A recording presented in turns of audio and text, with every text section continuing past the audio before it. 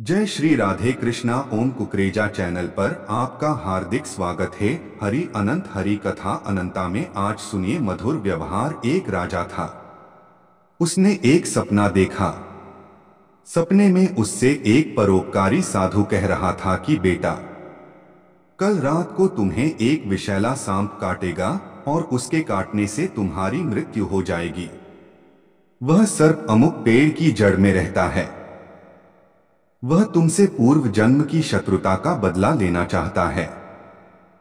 सुबह हुई, राजा सोकर उठा और सपने की बात अपनी आत्मरक्षा के लिए क्या उपाय करना चाहिए? इसे लेकर विचार करने लगा। सोचते सोचते राजा इस निर्णय पर पहुँचा कि मधुर व्यवहार से बढ़कर शत्रु को जीतने वाला और कोई हथियार इस पृथ्वी पर नहीं है। उसने सर्प के साथ मधुर व्यवहार करके उसका मन बदल देने का निश्चय किया।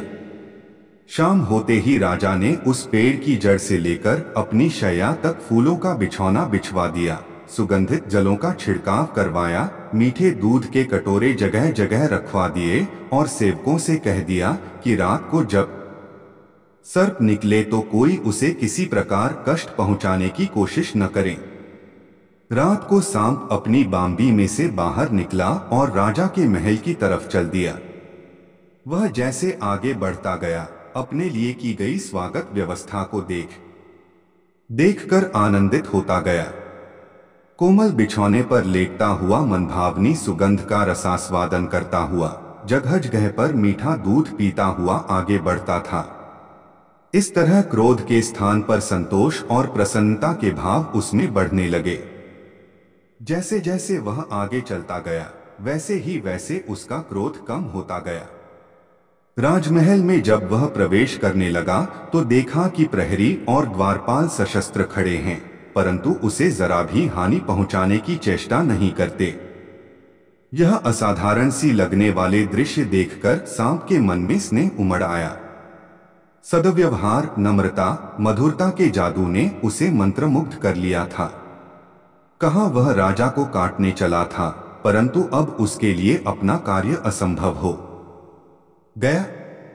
हानि पहुँचाने के लिए आने वाले शत्रु के साथ, जिसका ऐसा मधुर व्यवहार है, उस धर्मात्मा राजा को काटूं तो किस प्रकार काटूं? यह प्रश्न के चलते वह दुविधा में पड़ गया। राजा के पलंग तक जाने तक सांप का निश्चय पूरी तरह से बदल गया। उधर समय से कुछ देर बाद सांप राजा के शयन कक्ष में पहुँचा। सांप ने राजा से कहा, राजन, मैं तुम्हें काटकर अपने पूर्व जन्म का बदला चुकाने आया था, परंतु तुम्हारे सौजन्य और सदव्यवहार ने मुझे परास्त कर दिया। अब मैं तुम्हारा शत्रु नहीं, मित्र हूँ।